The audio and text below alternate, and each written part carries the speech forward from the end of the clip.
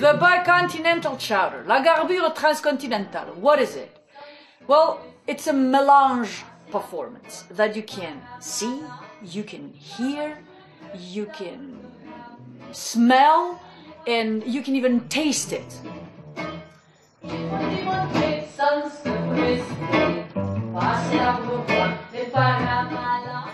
The performance was inspired by the fact that uh, my hometown, Luchon, in the Pyrenees, and um, Albany, New York, where I've been since uh, 1992, lie on the same latitude. Standing on a meridian that exists with or without me, but through me. And tonight, with you too, we are going to ride some segment of my line via the bicontinental chowder. Performance really brings together the findings gathered on my line.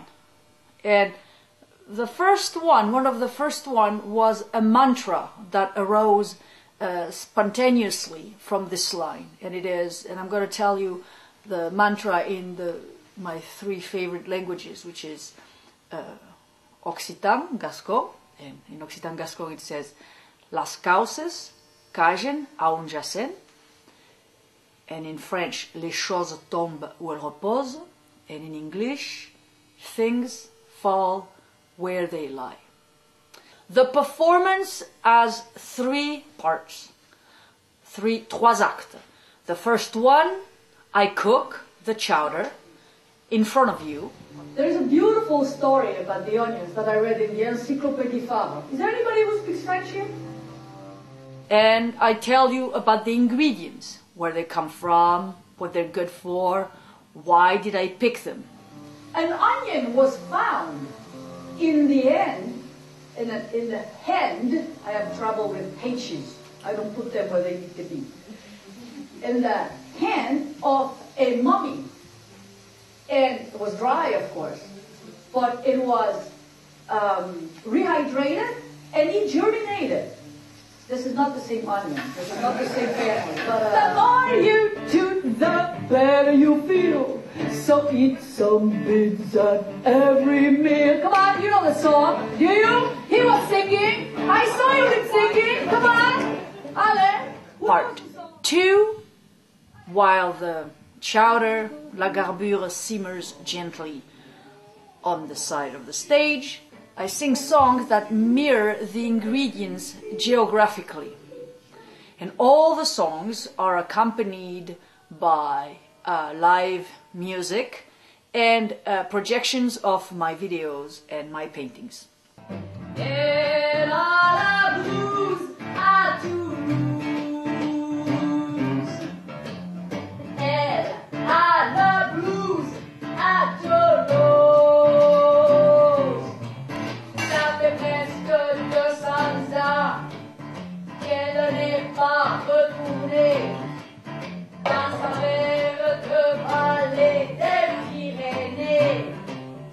And that led me to explore the depth of the line, which meant looking at the, the stratas of my memory. But it's a, a memory where um chronology is, is not an issue, but where the, the active and transmittive feminine energy lays. And that's, that's a very, very important part of the show. Oh.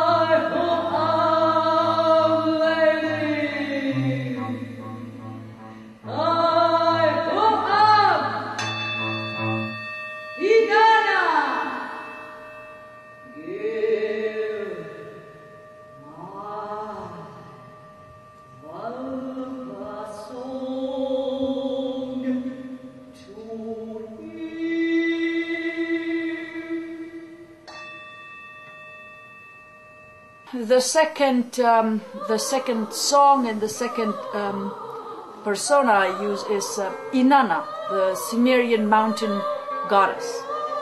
Sumer was the what's called today Iraq, Iraq, and um, uh, that's the only text I didn't write, by the way. It is 4,000 years old, and it was written by Enheduanna.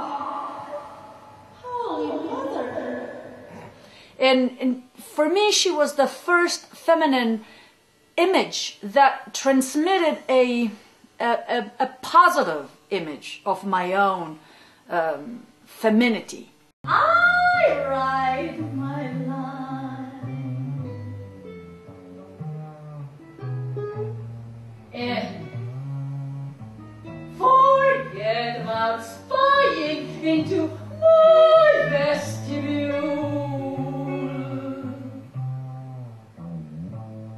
The Line was my first response, artistic response to the discovery of the line.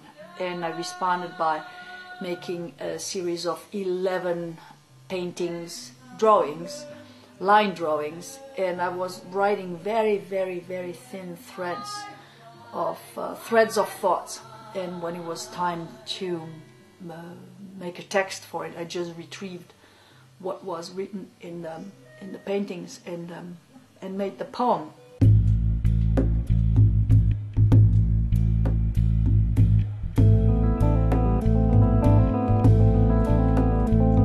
Walking across the Brooklyn Bridge. So Brooklyn Bridge came out of my fascination with bridges, and but in, in all the sense of the terms. I mean, bridging uh, cultures, bridging differences. It's something that I'm always interested. Suspended lives, tramping their lines, wired above tidal. One day I walked the Brooklyn Bridge on a beautiful sunny spring day, felt very inspired, and spent the next three days just uh, doing research on the Brooklyn Bridge and uh, writing that song.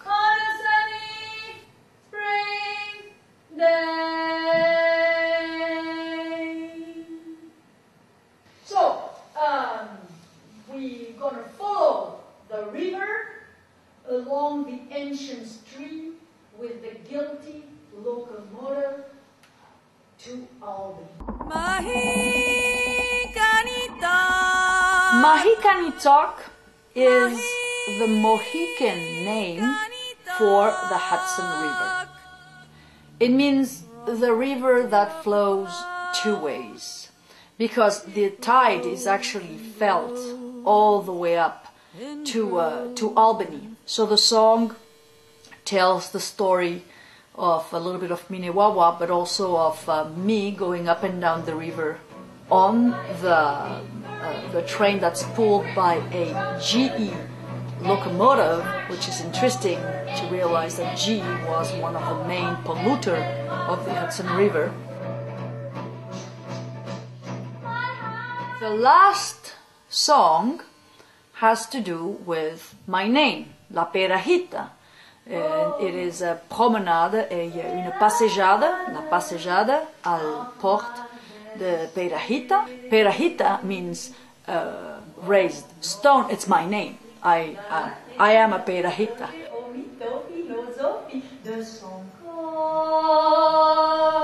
So in a way, the bicontinental chowder, la garbure transcontinentale, is um, is a personal ritual that hopefully will inspire people in the audience to do their own. And if nothing else, it is a great chowder. So all I can say is bon appetit. John Montocol da Perafita pour y rencontrer mon. La pierre dressée, la pierre dressée.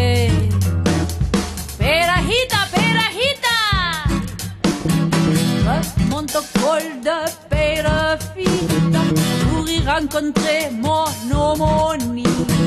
La pierre dressée. La pierre dressée. Perajita, perajita. Adisha!